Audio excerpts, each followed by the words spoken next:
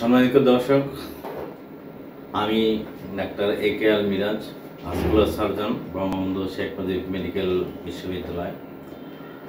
আজকে আমরা আমরা একটি খুব পরিচিত রোগ পায়ের ভেরিকোজ ভেন অথবা আঁকাবাঁকা শিরা, এটা নিয়ে কথা বলব। আমরা দেখতে পাই, অনেক সময় দেখতে পাই যে মানুষের পায়ে আঁকা বাঁকা শিরা ফুলে থাকে। এটা সাধারণত হাঁটু বা নিতে নিতে বলি আমরা। হাঁটু বা নিয়ে নিচে এটা প্রথম দেখা যায়।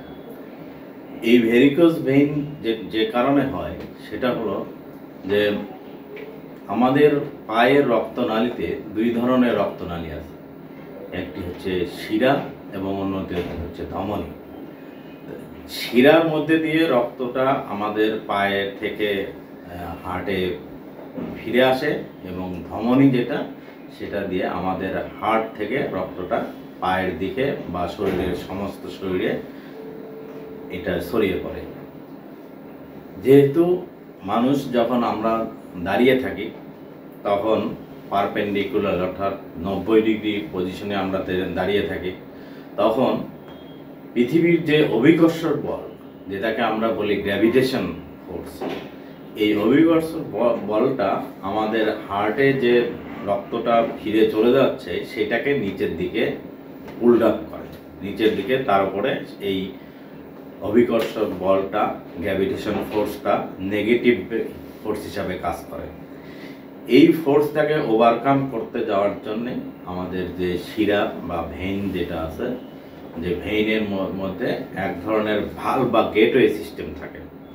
ভালো বলতে বলতে আমরা বুঝি যে ওয়ান ওয়ে গেটওয়ে ডিরেকশন এইটা যদি একটা ভালভের কাজ হয় এইটা যদি আর একটা কাজ হয়, দুইটা কাপ কাজ এভাবে লেগে থাকে, ভেনের শিয়ার গায়ে বা ভেনের ওয়ালে। যখন আমাদের পা থেকে ব্লাডটা উপর দিকে যেতে চায় হার্টের দিকে, তখন এই ভাল্বটা এভাবে ব্লাডটাকে প্রবাহিত করতে সহায়তা করে। এবং যাতে ব্লাডটা নিচের দিকে নেমে না আসে, সেজন্য ভাল্বটা ওয়ান ওয়ে গেট খুলে আবার ক্লোজ বন্ধ হয়ে যায়। এই যে ভাল্ব সিস্টেমটা ভেইনের মধ্যে আছে, শিরার মধ্যে আছে, এটা শুধুমাত্র মানব, অর্থাৎ হিউম্যান বিং যেটা আমরা বলি, শুধুমাত্র মানুষেরই আছে। পৃথিবীতে অন্য কোনো প্রাণীর বা কোনো ম্যামালস বা কোনো অন্য ধরনের যত প্রাণী আছে, তাদের কারোর ভেনের মধ্যে বা শিরার মধ্যে এই ভালো সিস্টেম নেই। তার কারণ হলো যে সৃষ্টিকর্তা মানুষকে সৃষ্টি করেছেন ওইভাবে যে মানুষ যখন পার্টিকুলার পারপেন্ডিকুলার হিসাবে দাঁড়াবে, তখন পৃথিবীর যে অভিকর্ষ বা গ্র্যাভিটেশন ফোর্স এটা তার নেগেটিভ ফোর্স হিসাবে কাজ করে। উদাহরণ হিসাবে আমরা বলতে পারি, যারা সমুদ্র পাড়ে গেছেন বা সমুদ্র সি বিচে দেখেছেন বা সমুদ্রের পাড়ে বেড়াতে গেছেন, তাদের সবসময় একটা কথা আমরা শুনতে পাই, সেটা হলো যে জোয়ার ভাটা হয়। যারা লাইফ গার্ড থাকেন, তারা বলে যে জোয়ার ভাটার সময় পানি এদিকে কমে এবং বেশি আসে। যার জন্যে লাইফ গার্ডরা ওই সমস্ত সময়ে যারা সমুদ্রের পাড়ে বেড়াতে যায় তাদেরকে সতর্ক করে দেয়। ঠিক তেমনি আমাদের শরীরের ভেইনে ভেইনে বা পা থেকে যখন ভে- রা- রক্তটা উপর দিকে আসে, তখন ওই গেটওয়েটাকে ফ্লো আপ করে কম্প্রেস করে করে ভেনের ভিতর দিয়ে একদিকে প্রবাহিত করে হার্টের মধ্যে আবার রক্তটাকে ফিরিয়ে নিয়ে আসে। এই ভাল্ব সিস্টেমটা যদি কোনো কারণে ডিফেক্ট হয়, এটার অনেকগুলি কারণ আছে, কিন্তু এই যে ভালো ওয়ান ওয়ে ডিরেকশনে রক্ত চল, চলাচলের যে সিস্টেমটা এবং পায়ের সিস্টেম যেভাবে শিরার মধ্যে আছে, এই ভাল্ব যদি কোনো কারণে ডিফেক্ট হয় তাহলে এই ভাল্বটা ওয়ান ওয়ে ডিরেকশনে রক্তটাকে চলাচল না করতে দিয়ে কিছুটা ডিফেক্টিভ হয়ে রক্তটা নিচের দিকে চলে আসে, অর্থাৎ ভাল্বটা লিক করে যায়। যেমন আমরা টিউবওয়েলের ক্ষেত্রে দেখি যে আমরা যখন পানিটা তোলার জন্যে তার গ্র্যাভিটেশন ফোর্সের কারণে পানিটা যেন একদম নিচে না চলে যায়, পৃথিবীর স্তর থেকে নিচে না চলে যায়, সেই জন্য উপরে পাইপের উপরে একটা ভালো বসানো থাকে। সেটা যদি নষ্ট হয়ে যায়, তখন ইয়ারের নেগেটিভ প্রেশারের কারণে পানিটা আবার পৃথিবীর নিচে জলাধারের স্তরের লেভেলে চলে যায়। তখন ওইটাকে আবার পানি দিয়ে ওইটাকে পাম্প করে করে আবার ওই পানিটাকে ওই লেভেল পর্যন্ত নিয়ে আসতে হয়। তখন পাম্প করলে পানি পাওয়া যায়।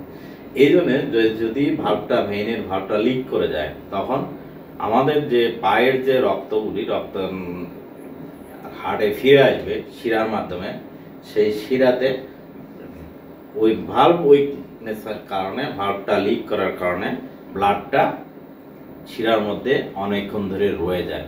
যেহেতু ওয়ান ওয়ে ডিরেকশনে ব্লাড ফেরার কথা ছিল, কিন্তু সেখানে না ডিফেক্টিভ ভালভের কারণে ব্লাডটা আবার নিচের দিকে চলে আসে। এই চলে আসাটাকে বলা হয় রিফ্লাক্স ফ্লো অর্থাৎ বিপরীত ধর্মী ফ্লো আসল, আসলে আসার কথা ছিল ভেন থেকে পা থেকে হার্টে হার্ট থেকে আবার ওটা ধমনির মাধ্যমে সার্কুলেশন হয়ে পেরিফেরিতে যাওয়ার কথা ছিল ফুসফুসের রক্ত পরি- পরিষ্কার হওয়ার পরে, অর্থাৎ অক্সিজেনেটেড হওয়ার পরে।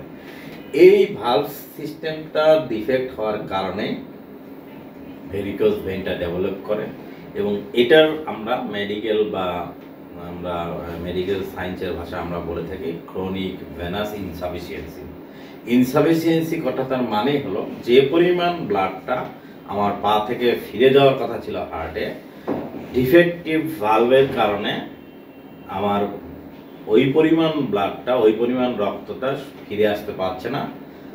সেই কিছু পরিমাণ রক্তটা আমার পায়ের মধ্যে বা নিচের যে এক্সট্রিমিটি নিচের যে পা এবং পায়ের নিচের দুই পা, পায়ের মধ্যে ব্লাডটা রয়ে যায়।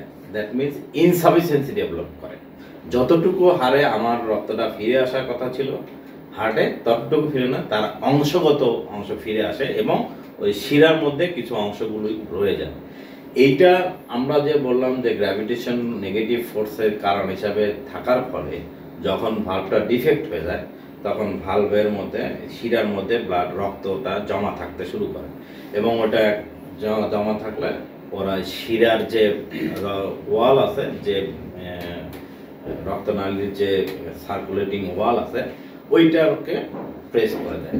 উদাহরণস্বরূপ, আমরা যদি একটা বেলুনের এক মাথায় বন্ধ করে উপর থেকে পানি দিতে থাকি, বেলুনটা দেখবেন ঝুলতে ঝুলতে ঝুলতে এরকম এই যে, এই জন্য আমরা যখন দাঁড়িয়ে থাকি, যেহেতু ভেইনের কোনো মাসল ওয়াল থাকে না আটারি ধমনের তুলনায় শিরা অনেক পাতলা এবং অনেক কম চাপ সহ্য করতে পারে। কিন্তু পক্ষান্তরে যে ধমনির মধ্যে মাংস পেশির লেয়ার থাকার কারণে ওটা অনেক বেশি চাপ সহ্য করতে পারে। এই জন্যে রক্তনালীর চাপ কিন্তু ভেন থেকে, শিরা থেকে ধমনীতে সবসময় বেশি। ধমনীতে আমাদের নর্মাল প্রেশার থাকে মিলিমিটার মার্কারের প্রেশারে যদি আমরা ইয়ে মেজারমেন্ট করি বা মাপি, তাহলে আমরা নর্মাল প্রেশার একশো বিশ, একশো এরকম পাই মিলিমিটার অফ মার্কারি থেকে কিন্তু ভেইনে শিরাতে তার তুলনায় অনেক কম থাকে, তিরিশ, পনেরো থেকে তিরিশ মিলিমিটার মার্কারি প্রেশার থাকে। এই যে ডিফেক্টিভ ভালভের কারণে যেটা হয় বললাম, এটা বিভিন্ন জায়গায় হতে পারে। বিজ্ঞানীরা আমরা মেডিকেল সায়েন্সের ভাষায় চিকিৎসা করার স্বার্থে এবং সঠিকভাবে চিকিৎসা করার কারণে এই ক্রনিক ভেনাস ইনসাফিসিয়েন্সি যেটা তৈরি হয় অথবা যে অপূর্ণতা তৈরি হয় সেইটাকে চিকিৎসা করার জন্য আমরা একটা ক্লাসিফিকেশন বা বিন্যাস তৈরি করেছি, সেটা মেডিকেল সায়েন্স ভাষায় এটাকে বলে চিপ ক্লাসিফিকেশন সিইএপি চিপ ক্লাসিফিকেশনে ক্লাস ওয়ান থেকে ক্লাস সিক্স পর্যন্ত করা আছে। এই জন্য চিপ ক্লাসিফিকেশনের প্রথম পর্যায়ে গিয়েই যেটা হলো, সেটা এটা কখনো খালি চোখে দেখা যাবে না। অনলি মেশিন ক্যান ডিটেক্ট এই যে আপনারা দেখতে পাচ্ছেন, এটা একটা ডুপ্লেক্স মেশিন আমরা এই মেশিনে যদি পরীক্ষা করি, তাইলে প্রাথমিক পর্যায়ে সিবিআই বা কনিক ভেনাস ইনসাফিসিয়েন্সি তৈরি হয়েছে কিনা বা সেটা তৈরি হয়ে আরও খারাপের দিকে যাবে কিনা, এরা প্রথম এই মেশিন দিয়ে আমরা আবিষ্কার করতে পারি বা এই মেশিন দিয়ে পরীক্ষা করলে আমরা নির্ণয় করতে পারি। প্রাথমিক পর্যায়ে, সব ক্ষেত্রে প্রাথমিক পর্যায়ে যদি কোনো একটা অসুস্থতা বা কোনো একটা রোগ ডায়াগনোসিস করা যায়, তাইলে সরাসরি সে সে চিকিৎসা এবং সহজভাবে চিকিৎসা করা যায় এবং চিকিৎসার এফোর্ট এবং চিকিৎসার ব্যয় দুয়োটাই অনেক কমে যায়। কিন্তু পক্ষান্তরে যখন একটা ডিজিজ অ্যাডভান্স স্টেজে চলে যায় বা বর্ধিত অর্থাৎ থার্ড ফোর্থ লেভেলে গিয়ে ধরা পড়ে তখন এই রোগের চিকিৎসা ব্যয় এবং চিকিৎসার পরিশ্রম এবং অপারেশন পর্যন্ত এই সবগুলি এই ক্ষেত্রে প্রয়োজন পড়ে। তো দর্শক, আমরা এই মেশিনের গুরুত্ব এখানে এই জন্যই দিতে যাচ্ছি যে যদি কখনো আপনার ভেরিকোজ বেইনের যে ক্রাইটেরিয়া সেটা হলো যে আপনার চামড়ার নিচে দেখবেন যে রক্তনালীগুলি আঁকা বাঁকা হয়ে শিরাগুলি অনেক ফুলে আসে প্রাথমিক পর্যায়ে খুবই কম থাকে এবং এটা দেখবেন যে যদিও যে যারা ফর্সা মানুষ অথবা মেয়েদের ক্ষেত্রে তাদের ক্ষেত্রে খুব ভালো চোখে দেখা যায়, কালো মানুষের ক্ষেত্রে একটু কম দেখতে পাবে এইটা যখন বাড়তে থাকে, তখন ভেনটা আস্তে আস্তে আস্তে মোটা হইতে থাকে এবং এক পর্যায়ে গিয়ে দেখা যায় যে অনেক মোটা হয়ে চামড়ার নিচে দেখা যাচ্ছে। এই স্টেজে আসতে কিন্তু অনেক সময় প্রয়োজন পড়ে। এই জন্য আমরা যদি কারও উপসর্গগুলি আমরা যে বলি, যে কারও যদি প্রাথমিক পর্যায়ে যে সমস্যাগুলি হয়, হঠাৎ করে একটু আঁকা বাঁকা শিরা দেখা দিল কোনো একটা পায়ে যদি পাটা ভারী ভারী লাগে অথবা পা ফুলে যায়, দীর্ঘক্ষণ পা বসে রাখে ফুলে যায়। তাহলে আমাদেরকে এই পরীক্ষাটা করার দরকার আছে যে আমি ওই রোগের আমার মধ্যে শুরু হচ্ছে কিনা এবং ভেরিকোজ ভেনে সেই অ্যাডভান্স পর্যায়ে যাবে কিনা সেটা যদি আমরা প্রাথমিকভাবে নির্ণয় করতে পারি, এই সমস্ত প্রাথমিক ব্যয়ের কোনো অপারেশন ছাড়াই এবং পরামর্শ, ব্যায়াম এবং মোজা পরার মাধ্যমেই এই রোগটাকে সারানো সম্ভব। আর অ্যাডভান্স স্টেজে গেলে সেটা অপারেশনের প্রয়োজন পড়ে। লক্ষণীয় বিষয় বা পরিধানযোগ্য বিষয় যেখানে এখানে, আমাদের দেশে, আমাদের কাছে রোগীরা খুব কম এই প্রথম প্রাইমারি স্টেজে আসে। আসেই না বলা তো। যারা আসে তারা always time C zero C ওয়ানের ক্লাসে কখনোই থাকে না। তারা সি থ্রি এবং সি ফোর এ বি এই স্টেজগুলিতে আসে। যে স্টেজগুলিতে সচরাচর দেখা যায় যে অপারেশন ছাড়া ভালো করা পড়ে অপারেশনের অনেকগুলি পদ্ধতি এখন এসেছে। আগে শুধু কেটে অপারেশন করা হতো। এখন এই পদ্ধতিটা অনেক আধুনিকায়ন হয়েছে।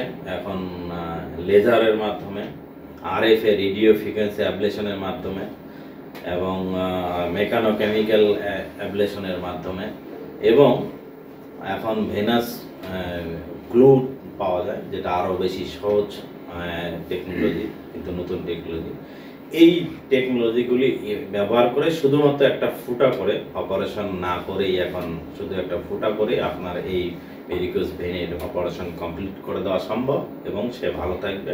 তার রোগটা তা আর তাকে এই পর্যায়ে নিবে না এবং প্রয়োজন পড়বে না কাটা ছেঁড়া করার এবং পায়ে ঘা যে হয়, সেই ঘা হবে না। স্কিনে যে পরিবর্তনগুলি আসে, স্কিনটা নষ্ট হয়ে যায়, অনেক ধরনের লাল, কালো স্পট পড়ে।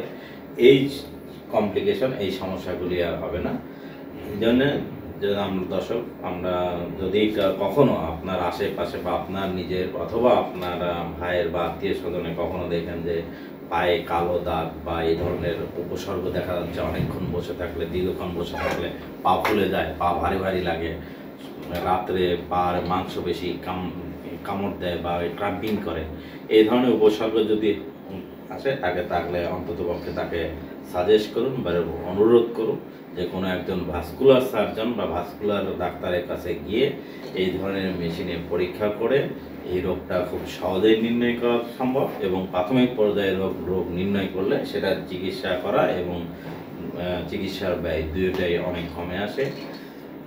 আশা করি আমরা আপনারা বুঝতে পেরেছেন যে এই ভেরিগোজ ভেইনের যে আজকের যে আমরা যে কথাটা বললাম অল্প একটি সেকশনে আমরা বড় একটা জিনিসকে পার্সিয়ালি বললাম। আশা করছি ভবিষ্যতে আমরা এইটার উপরে আরও বেশি বিস্তারিত আপনাদেরকে সিরিজ ভিডিওর মাধ্যমে বা সিরিজ কনসালটেশনের মাধ্যমে আমরা আপনাদেরকে জানাব এবং দর্শকদেরকে অনুরোধ করব, আপনারা অবশ্যই অবশ্যই ভাস্কুলার ডাক্তারের সাথে যোগাযোগ করুন, অথবা আমরা ডিপিআরসিতে ভাস্কুলার সেন্টার অল্প কিছুদিনের মধ্যে চালু করতে যাচ্ছি। তো সুতরাং আমরা আপনারা ডিপিআরসিতে যদি খোঁজ নেন, তাহলে আপনাদের এই পরীক্ষা পরীক্ষা এবং এই ভেরিকেজ গানের চিকিৎসা, আধুনিক চিকিৎসা আপনারা নিতে পারবেন। ধন্যবাদ সবাই নিয়মিত স্বাস্থ্য বিষয়ক আপডেট ও পরামর্শ পেতে আমার ইউটিউব চ্যানেলটি সাবস্ক্রাইব করুন। ও উপরের ডান পাশের বেল বাটনটি চাপুন এবং আপনাদের অন্যান্য সোশ্যাল মিডিয়ায় এই ভিডিওটি শেয়ার করুন। আমরা জানি আপনার প্রিয়জন আপনার জন্য কতটা গুরুত্ব বহন করে। প্রপার ডায়াগনোসিস কনসালটেশন পেইন ও প্যারালাইসিস চিকিৎসা, পুনর্বাসন আমাদের সব আয়োজনই সবসময় আপনাদের জন্য। চব্বিশ ঘণ্টা খোলা। আমরা চাই না আপনারা বারবার আমাদের কাছে ফিরে আসুন তবুও আমরা আছি সব সময় সর্বদা আপনাদের পাশেই। ডিপিআরসি হসপিটাল লিমিটেড আস্থা বিশ্বাস ও নির্ভরতায় অবিচল।